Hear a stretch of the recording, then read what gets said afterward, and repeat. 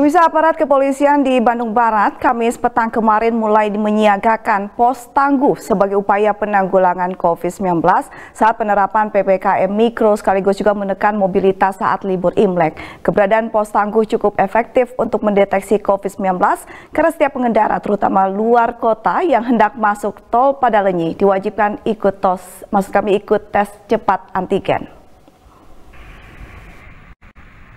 Belasan kendaraan dari luar kota terjaring aparat gabungan tepatnya di pintu masuk gerbang tol pada Larang, Bandung Barat. Para pengendara luar kota tersebut harus memperlihatkan surat bebas COVID-19 terlebih dahulu kepada petugas sebelum melanjutkan perjalanannya kembali.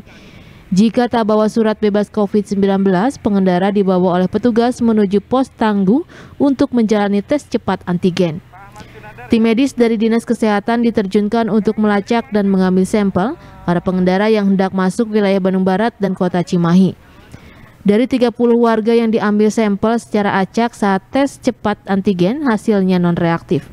Keberadaan pos tangguh sebelum pintu masuk tol pada Lenyi mulai disiagakan aparat tepat di hari ketiga pada PPKM Mikro sebagai upaya menyekat pengendara dari luar kota sekaligus melacak penyebaran COVID-19 lewat rapid test cepat antigen.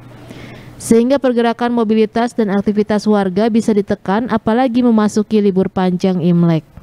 Ini sebagian besar kendaraan yang diperiksa dari luar kota uh, tidak membawa uh, surat uh, bebas COVID ya Bu? Ya, sebagian kendaraan tidak membawa, langsung kami arahkan untuk pemeriksaan, namun ada beberapa kendaraan juga yang membawa.